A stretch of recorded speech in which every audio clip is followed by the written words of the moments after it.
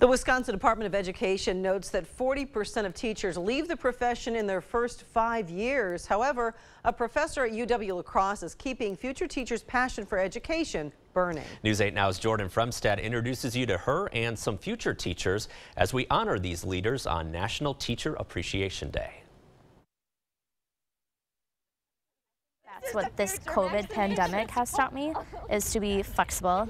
Have you thanked a teacher lately? They're the ones doing the work. We're just here to guide them and support them. Our last class. Oh, wow. They won't ask. But after the year they taught, they've earned some extra credit. And I taught for 28 years. Assistant Professor Lisa Pito. What title would you like me to give you? Oh, Dr. Lisa Pito. Make that Dr.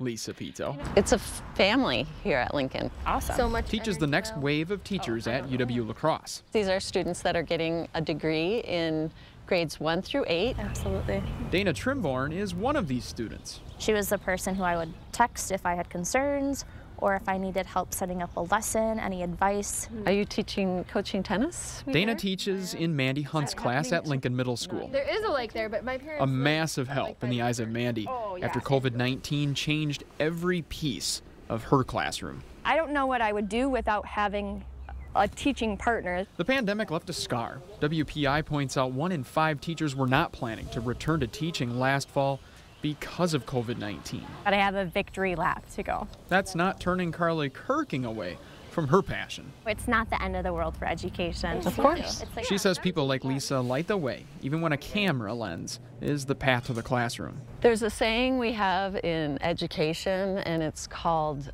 building the plane while we're flying it. The pandemic left plenty in place of what it took away. Tenfold, there's more skills that they've learned because of COVID. Is it time to go? Unpredictable lessons, We never know what the future holds for us. I don't think I ever said that. equipping future teachers with tools no textbook provides. it's an essential piece of the wheel. Lisa builds that foundation, a foundation of support. After every class, she checks in on us. You make it all possible. So Dana and do Carly can build one for children in their own classrooms. And then they start doing it. And they're and you're like, yay, they're doing it. This is Jordan Fremstad, News 8 Now, La Crosse. You're like, it's been Once Lisa's students complete their student teaching period, they get to apply for jobs. And Lisa says seeing her students' faces when they land that first job is one of the best moments for her. I bet.